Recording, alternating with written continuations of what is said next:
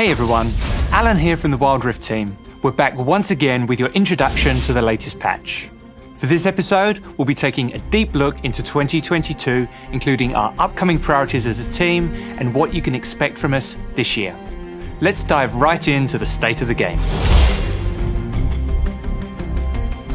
We believe we've made some good progress over the past few patches, with game balance and champion balance in a decent place, and stability and latency improving for many of you.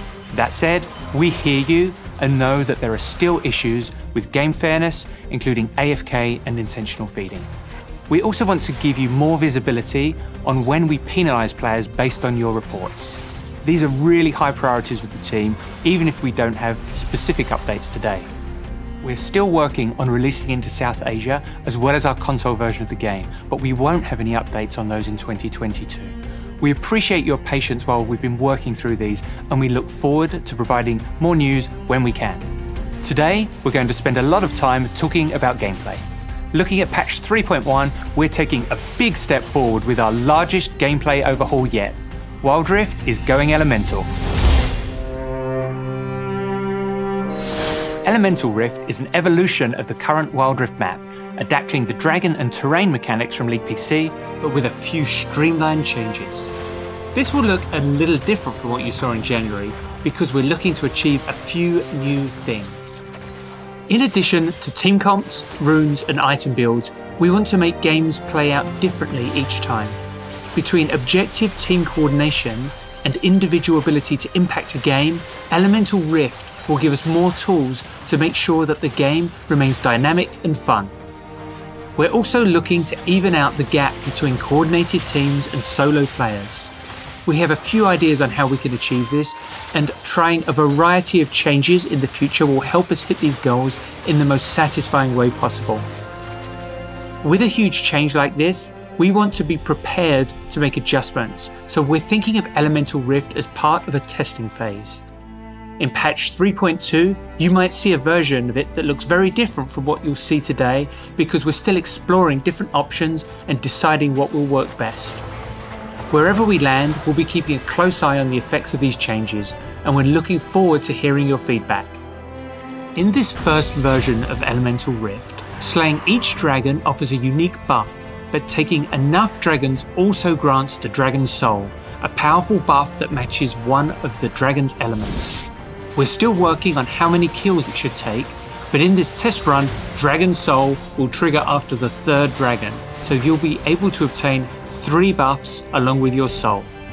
Infernal Dragon now grants bonus attack damage and ability power, and the Infernal Soul creates explosions around your abilities and attacks, dealing bonus adaptive damage in a circle around your target. Mountain Dragon increases your armor and magic resist, and the Mountain Soul grants a shield after not taking damage for a short while. Ocean Dragon restores health over time, and Ocean Soul restores more health when dealing damage to enemies. The first two dragons are random, then after that, all dragons will match the element of the rift. You'll always know which dragon type is coming next before it spawns, so you can prepare to fight for it or trade a different objective if it doesn't fit your team comp. You might have noticed that we didn't cover one element. With the arrival of Elemental Rift, we're removing Cloud Dragon. During our playtests, we felt that Cloud Dragon offered mostly hidden power that was hard to notice in game, making it less interesting to play around and less enticing for objective minded teams. Without Cloud Dragon, we'll have extra space for the more exciting elements to shine. You'll also see that dragons, Rift Herald, and Barons spawn later in the game, and dragons will be a bit easier to take. By building more time into objective spawns, we're hoping to strike a better balance between team performance and individual play. Players will have more options to choose how they want to play the early game, rather than needing to rush the objective right away. We've also totally revamped Elder Dragon, making it much closer to its League PC kin. After the Dragon Soul has been taken by a team, Elder Dragons will be up for grabs, offering a game ending, true damage burn effect and executing enemies when they drop to low health. If your team picks up Elder, it's time to fight. After the second dragon is slain in each game, the map terrain changes significantly, offering new gameplay opportunities that match the third Dragon's element. The Infernal Rift burns away brush and opens new pathways to red and blue buff. This can offer an advantage to the winning team for deep warding and aggressive invades, but also means the path back to your base is much shorter.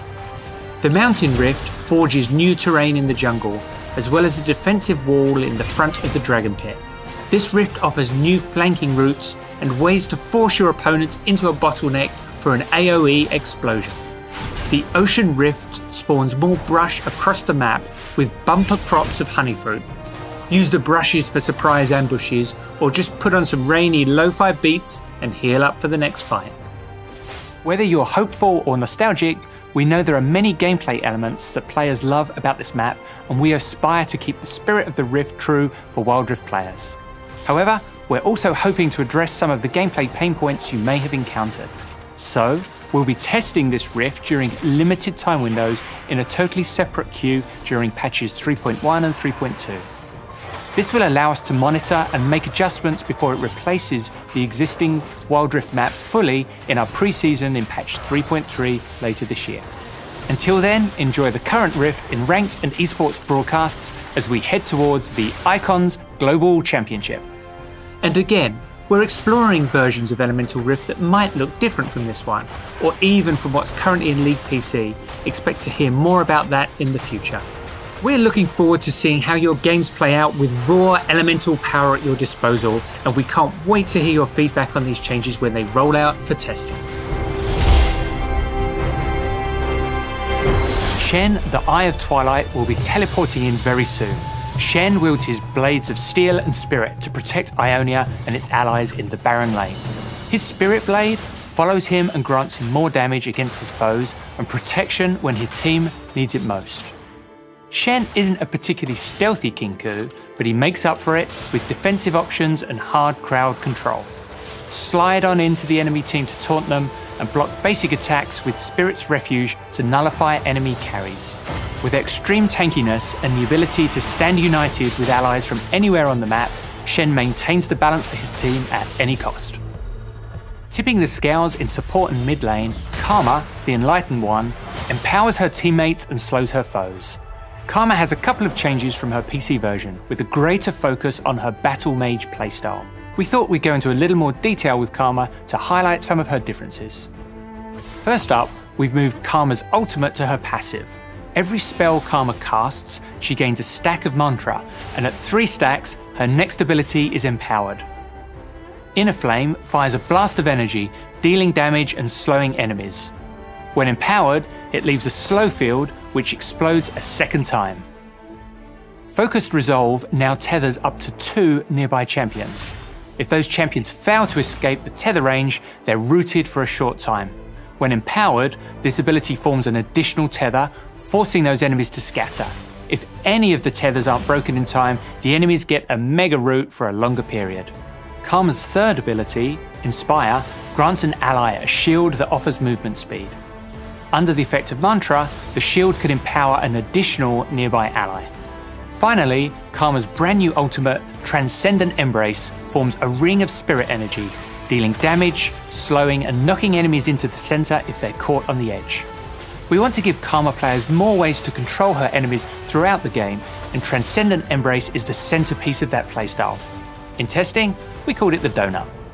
While this year is starting off a little quieter, we're going to ramp up the amount of champs later in 2022, and we wanted to give you a small taste of who you can expect. This year, we've started with Peace, Harmony, and Fluffy Cats. But 2022 is the year of the Edgelord.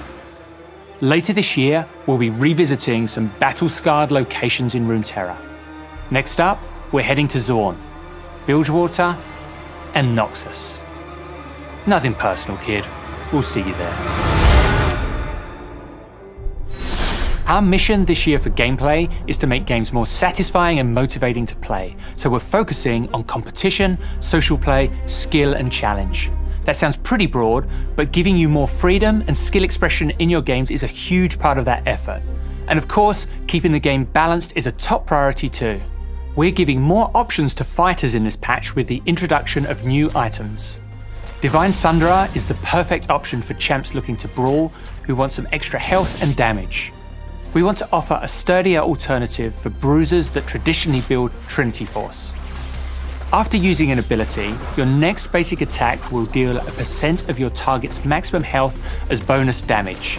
If that target is another champion, you will also heal for some of the damage you dealt.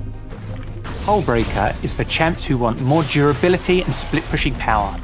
While no allied champions are near you, you'll gain bonus armor and magic resist and deal more damage against structures. You'll also give a mini boost to nearby minions so they can keep you company on your split pushing journey. Also in this patch, we're making some small changes to other items. Fimbulwinter will be more closely aligned with its PC version, offering its trademark shield on slows as well as hard crowd control.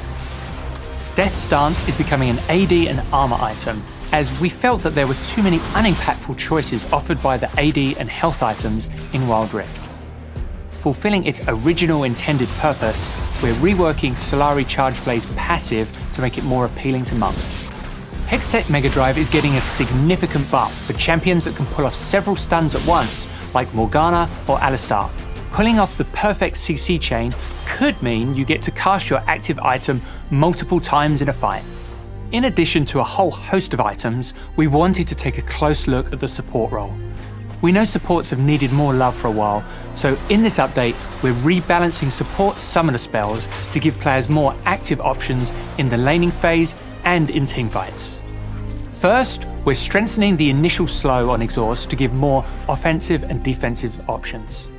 Heal will now grant more health to the healed ally and less to the user. And Ignite is retuned to be more effective in the early game and weaker in the late game. One idea we're thinking about for 2022 is theming our major patches to address specific game balance or systemic changes. Next patch, we're hoping to have some updates on map vision, and we're also looking at the impact of our current rune set. Which system should we look at next? Leave us some suggestions in the comments. The next season of Ranked will soon be underway, and that means there's a new glorious skin up for grabs. Just make sure she doesn't grab you first. With the start of the new year of Ranked, we're giving the glorious theme a makeover. Glorious Crimson Evelynn is your skin reward for this season. The best is, don't let her flop. Starting with Evelynn, you can also grab what we're calling a weapon augment for glorious skins in the rank store to serve even harder. This visual update empowers the Chosen Champ's source of power to recognize your commitment to the climb. With our explorations coming to an end, many mysteries are still left unsolved. Thankfully, we've hired some private expertise as psychic detective Senna is on the case and making her debut in this Wild Pass, just in time to help us get to the bottom of this mind-bending world. In Champ Select, if you're in the jungle, you'll now automatically be assigned Smite. This way, you won't face final boss level 1 red buff if you accidentally switched away. We're introducing the News tab, Patch notes, game news, community events, esports and videos are now easily accessible through the app. As we mentioned in January, we're going to be running more events this year with less downtime between each one. But part of that is going to be varying the types of events we run and experimenting with different ways to play.